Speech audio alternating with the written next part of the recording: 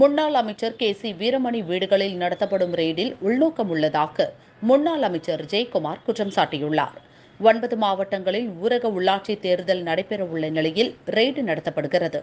இதன் மூலம் அதிமுகவினரை மிரட்டி தேர்தல் பணிகளில் ஈடுபட விடாமல் தடுக்க திமுக திட்டமிட்டுள்ளதாக அவர் கூறினார். திமுக அரசு தேர்தல் வாக்குறுதிகளை நிறைவேற்ற தவறிவிட்டது.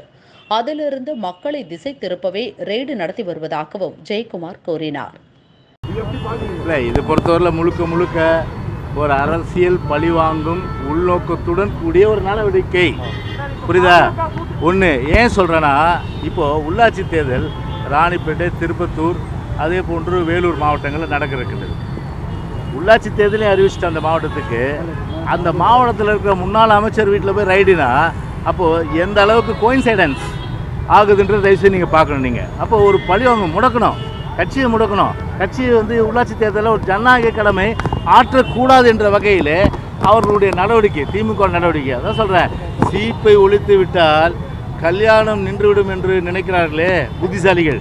அவர் நான் சொல்லிக்கிறேன் என் எத்தனை மாதிரி ரைடு அடித்தாலும் சரி உங்கள் போலீஸ் அமிச்சு என்ன பண்ணாலும் சரி ஒருபோதும் அஞ்சாத இயக்கம் அனைத்து இந்திய அண்ணா திராவிட முன்னேற்ற கழகம் எத்தனையோ சோதனை தாங்கியது. ஸோ அந்த வகையில் இதெல்லாம் வந்து பார்த்தீங்கன்னா எங்களுக்கு ஒன்றுமே இல்லை.